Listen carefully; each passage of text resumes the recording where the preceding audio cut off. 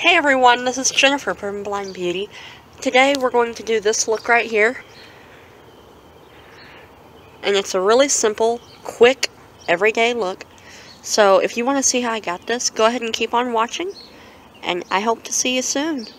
Thank you so much for subscribing. And if you're not subscribed, hit that subscribe button so that you'll be seeing my videos in your feed. Because I am going to start doing a lot more videos more.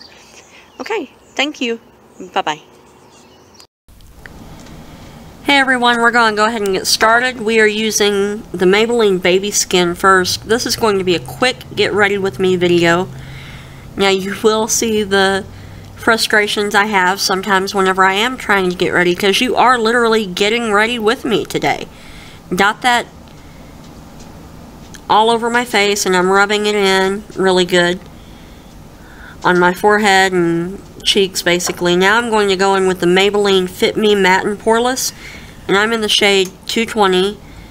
Decided to turn on some lights because with makeup it is important to have good lighting but not so much lighting that it washes me out.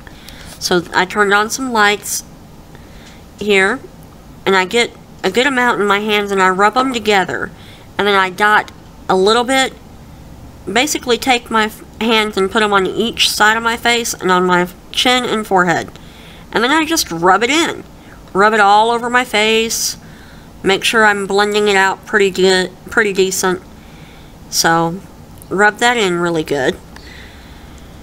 And with foundation, whenever we're using our hands, it goes a lot faster because you're not messing with some kind of tool. Now, some people who are faster and more experience might be able to do it just as fast with a beauty blender or Real Techniques Miracle Complexion Sponge or brush or whatever the case may be. But for me, that's faster. Now I'm having trouble finding my concealer that I was wanting. That's why you see me a little bit frustrated in this clip. Um, and this is real time.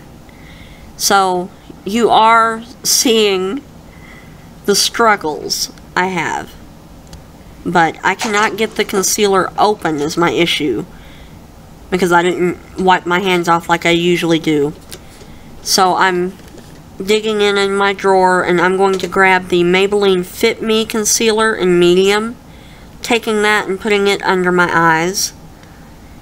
Just go in a small triangular shape under my eyes just to cover the bags basically is all I'm wanting to do you know, because there is some darkness there. It's not as bad as it can be at times, but there's still some there.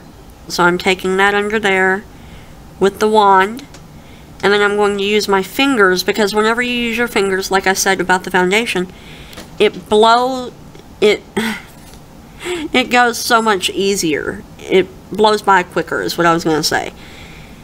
It happens so fast, because you don't have to mess with the brush. So now I'm taking the Maybelline Fit Me Matte and Poreless.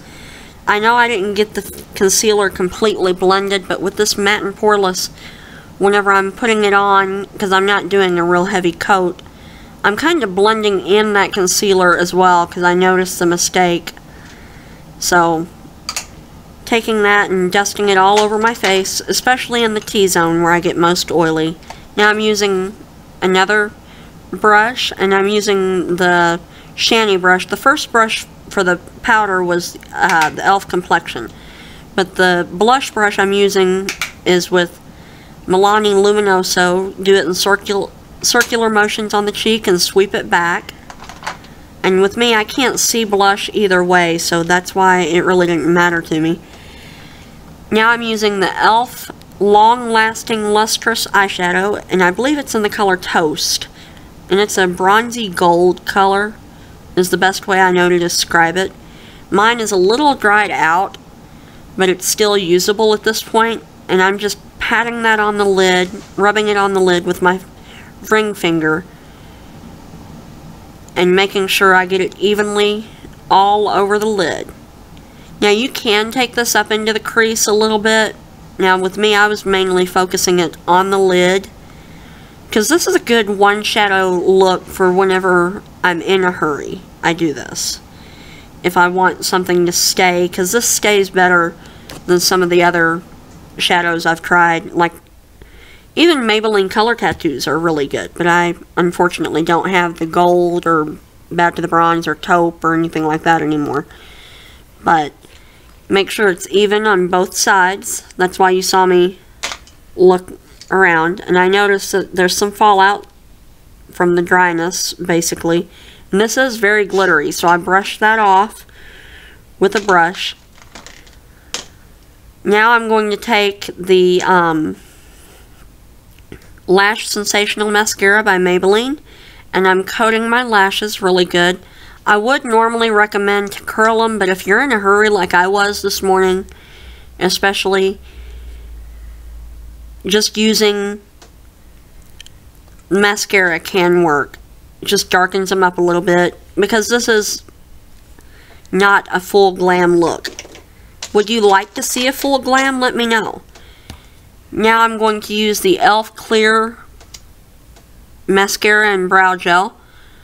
And I'm doing my brows with that. You can use both sides for the brows. Now this is just to set my brows so they don't go crazy and start sticking out everywhere like they already are, but they can get worse. Now I'm using the AOA Metallic Lip color, I believe is what it's called. I'll make a note on the screen as well as leave the product link down below. This is in Cyber, and it's only a dollar, so I these are some nice lip colors, and I will be doing a full review on this as well. If you'd like to see it, let me know if you want to see that review. Now I'm just fluffing up my hair, and with my hair it's so thick it's hard to get it to really wave. And first I tried using the Aussie Scrunch Spray, but I didn't make sure I could get anything out before using it, so I'm a little frustrated in this thing. That's why I rolled my eyes at you. So then I gave up on that, and I'm like, okay. I go ahead and I grab the Suave sea salt spray. I couldn't find it for a moment. I have a little area that I keep all my hair stuff up on a shelf, so I have to, I had to get up and get that. Now I'm just spritzing that all over my hair. I do one side and I scrunched it a little bit just to see if it was going to work for me. Then I spritz it all over my hair, and then I just scrunch my hair. So that's basically all I do. I want to thank you so much for watching, and have a great day. I want to thank you so much for watching this video and taking the time out of your day to do that. So, I hope that you do subscribe so that you can see whenever I do post a new video. I also hope that you follow us on all of our social media as well. We have Facebook, Twitter, Instagram, Snapchat, and Pinterest as well as I have a blog where I post different topics on as well that may pertain to this video, may not. I will be posting links in the section down below to where you can find that blog and find all the links to my social media, so I hope you subscribe. Thank you.